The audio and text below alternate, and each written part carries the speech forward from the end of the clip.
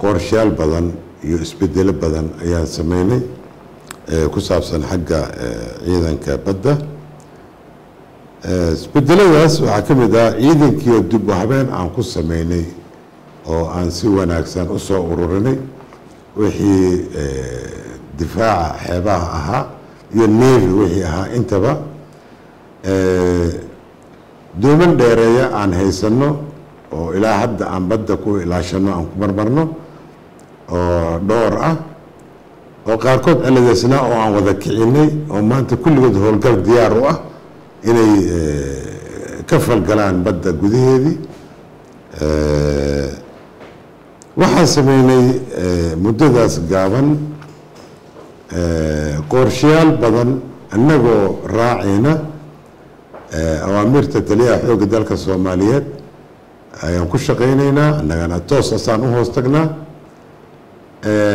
Annagoo raacayno tilmaamaha ka soo baxa madaxda sare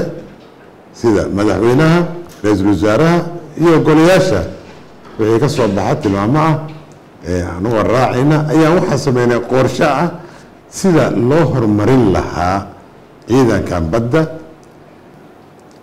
in aan wada hadallo iyo xiriiro aan sameynay duwal badan oo ay noo ballan qaadeen in ay nala dhisayaan baddii oo aan rajeynayno qaarkood wakti dhowba inay soo galaan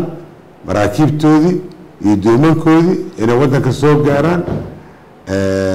Ciidankana tababaro badan ayaa la soo siiyey oo meelo qaar laga soo siiyey. Inta dhimanna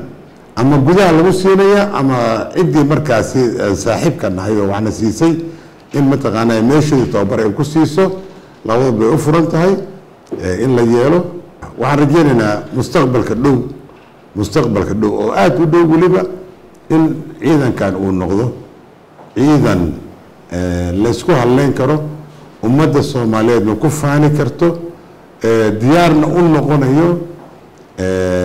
wax alla wixii ku saabsan difaaca badda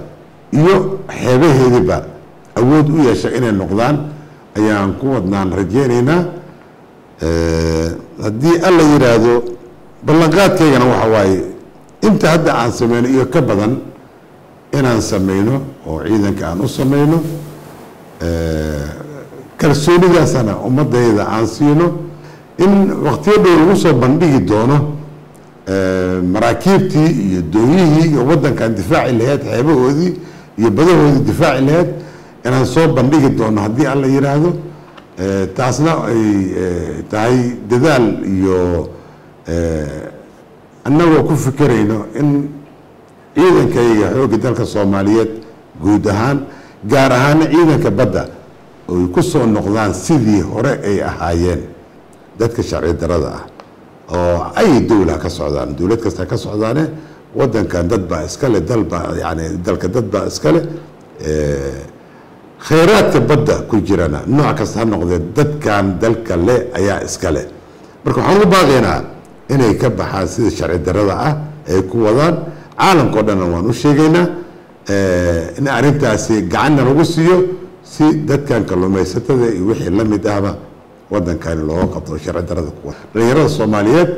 in ay ka soo qeyb galaan ka mid noqoshaha ama ka mid ahaanshaha ciidanka badda soomaaliyeed oo ah difaacii wadanka dhinaca badaha iyo xeebaha